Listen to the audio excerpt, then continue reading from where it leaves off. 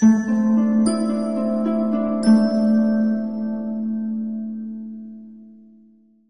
can you explain to us the structure of the strength training programs, the fitness programs that you coach currently? Well, I do um, kind of an ongoing postpartum class. Like, it, I keep it really open ended um, to be like any point postpartum. And that's kind of my starter class that I have women come to um, before they move into my strength and conditioning program.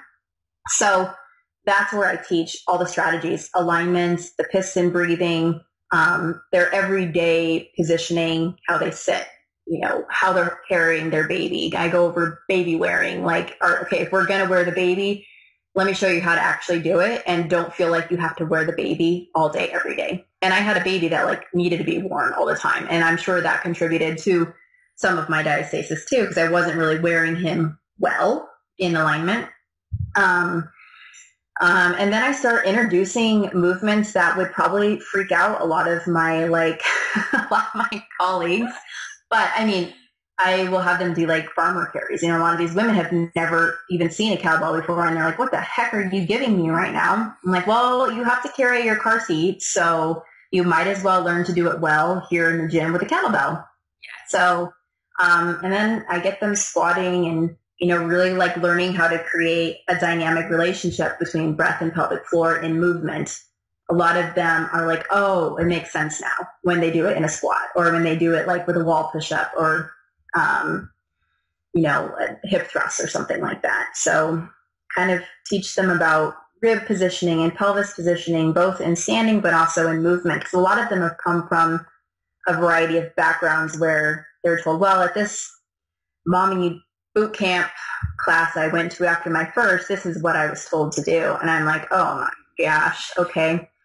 Um, a lot of work to do. Yeah, a lot of work. So I just, I undo a lot of bad habits and build a lot of new ones. From there, um, it's my hope that they can kind of, if they want to join me, whether it's personal training, remote programming, or in my class, they're at least empowered with the tools to do whatever kind of um, fitness they want to do.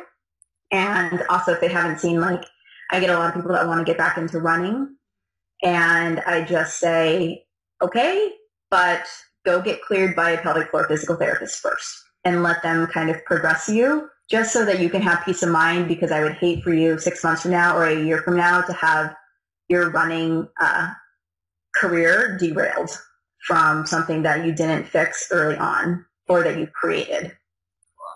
I love it.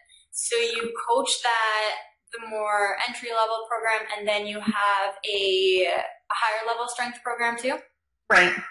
And so that's where you know I have them doing you know, a lot of like powerlifting moves like squats, deadlifts, presses, um, you know, work with the kettlebell and for lack of better words, like functional movement. So they're doing everything from pull-ups and push-ups to heavy squats and deadlifts to running to rowing to biking, whatever it may be. Um, pretty versatile, very similar to CrossFit. Um, and then I, I do work with CrossFit athletes, but more on an individual um, level. So, so great. Very cool. Okay. Yeah, and in that class, like I cue, even in these high level movements, I'm cueing their breath, I'm cueing their pelvic floor, I'm cueing their core, and I don't care if they've had a baby or not. It's still something that I'm like, well, you're going to be stronger and better protected if you implement this strategy baby or no baby. Because it's a women's class in general, and so figure sooner they understand it, the better. Yeah, such a great point. Um, something that I talked about before, but I was a competitive gymnast from very young age, and we did tons of leg raises, tons of jumping, tons of crunches, all mm-hmm. sorts of crazy core exercises, and lots of impact type stuff. And going into pregnancy, I had a bit of a diastasis under my belly button from that exercise that I was doing when I was a teenager.